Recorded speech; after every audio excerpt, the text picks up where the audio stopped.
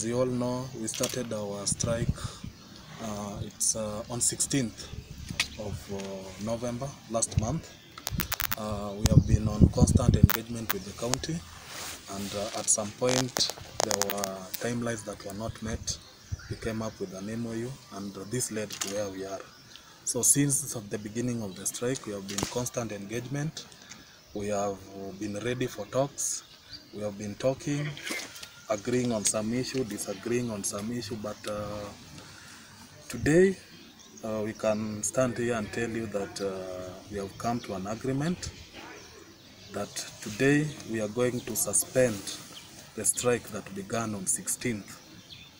And today we have looked on uh, the progress in terms of promotions. We have known where the levels are and we are satisfied that all our doctors, according to submissions that we made and uh, met the requirement, will be promoted. And I just want to specify that uh, we have agreed we get the next batch of the doctors who, whose names were forwarded and in the next two weeks we will be most probably will be through with all the doctors in the issue of promotion.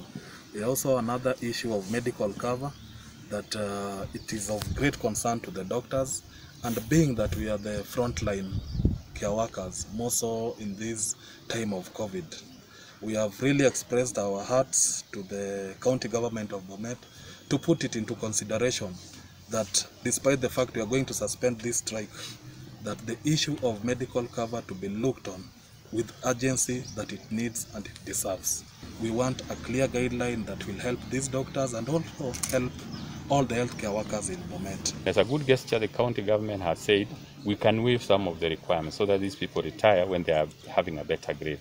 And one doctor is affected, and uh, that that has been presented to, or that has been presented to the Public Service Board, and I'm sure he'll have a very favorable uh, promotion uh, as he's going on his retirement.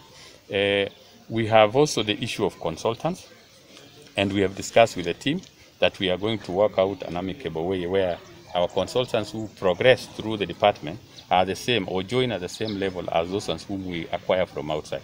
Uh, according to our team here, they seem to feel that when you work and grow internally, you seem to be a bit disadvantaged. And I think we are requesting that that will be rectified, and we have agreed that that would be that would be a good way uh, to go. So I'm very grateful that. Uh, Today, we want to make a major announcement that uh, our people in Bomet really require our services and that we are ready wherever we've, we've gone wrong, I think we are able to, to rectify.